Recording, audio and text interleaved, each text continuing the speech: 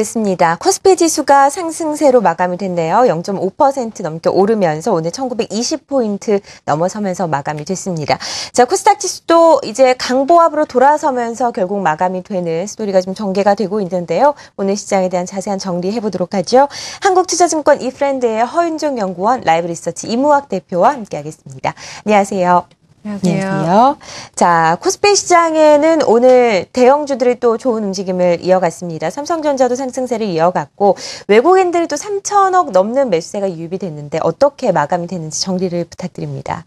네, 오늘 약보합 출발했었던 코스피 시장은 오전장 초반에는 다소 좀 등락을 거듭하는 모습이었습니다만 이후 점차 상승 쪽으로 방향성을 잡아가는 모습이었습니다. 외국인들의 매수세가 강화되는 가운데 전기전자 중심으로 유입이 전일과 마찬가지로 좀 지속되는 모습이었고요. 이에 따라서 외국인들의 선물과 비차익 부분에 있어서도 어, 현재 매수로 전환된 흐름으로서 마무리를 지었습니다. 어, 특히 오늘장에서는 전일 굉장히 강했었던 삼성전자나 SK하이닉스가 과연 수급에 대한 움직임과 어, 상승의 연속성을 보여줄 수 있을 것이냐 많이 좀 지켜보려는 시각들도 있었을 것 같은데요. 삼성전자의 경우에도 일단 오늘 굉장히 양호한 흐름 흐름으로써 0.8% 정도 상승 마감을 했고 동시호가 직전에 비해서도 상승폭은 더욱더 양호하게 좀 갖춰내면서 마무리 지었습니다.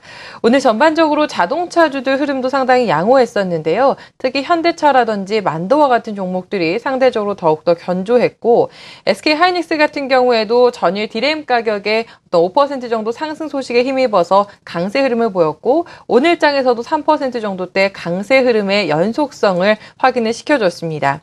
어, 이 밖에 오늘장 또 정유나 화학주들 관련돼서의 움직임이 상대적으로 굉장히 좋은 모습이었었고요. 대표적으로 LG 이노베이션, 아, SK 이노베이션이라든지 LG화학, 금호석유 이런 종목들이 각각 2, 3% 이상의 상승 흐름을 보여주는 모습이었습니다. 그리고 오늘 또 기계 업종 중에서는 두산 인프라코어가 굉장히 양호한 흐름을 보였다라는 측면들도 안내가 가능할 것 같습니다. 어, 특징주를 몇 가지 말씀을 드려보면 첫 번째 특징주로는 NC소프트를 말씀드릴 수 있을 텐데요.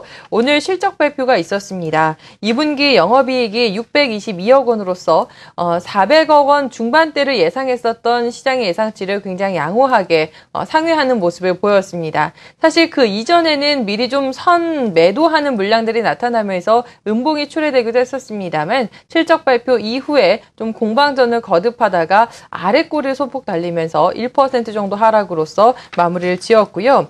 마지막으로 한국가스공사 좀 말씀을 드려보겠습니다.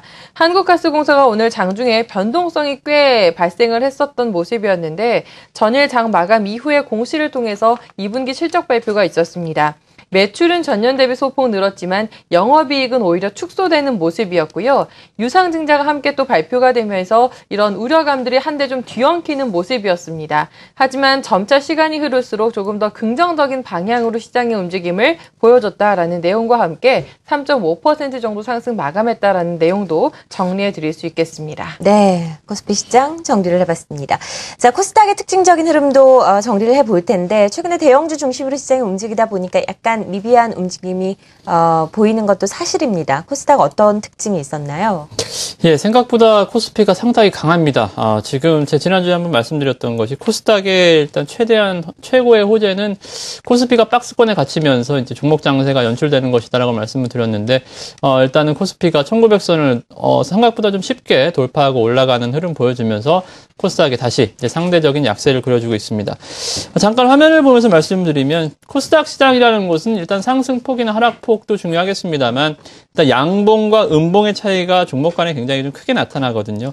근데 8월 달에 들어서 지금 보면 8월 5일 월요일장 하루 빼고는 어 지금 10거래일 중에 9거래일이 계속 음봉으로 떨어지는 아주 좀 뒷심이 부족하고 힘이 좀 딸리는 아, 흐름을 계속 좀 나타내주고 있습니다.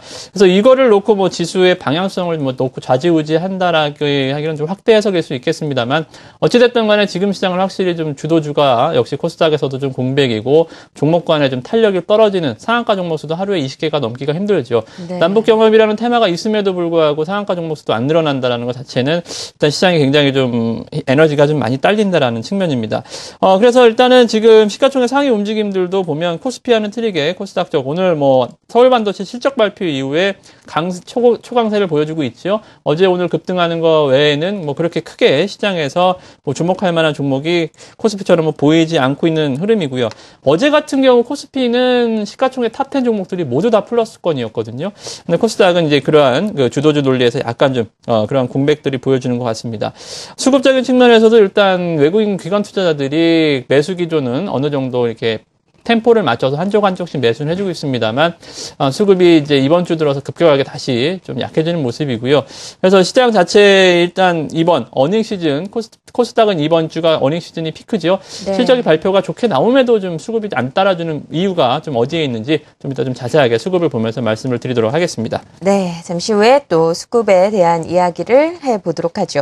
어, 외국인들의 3,599억을 코스피에서 매수를 했고요. 다행히도 삼성전 자에 대한 매수, 이 IT 대형주에 대한 매수는 좀 들어오고 있는 것으로 분석이 되고 있습니다.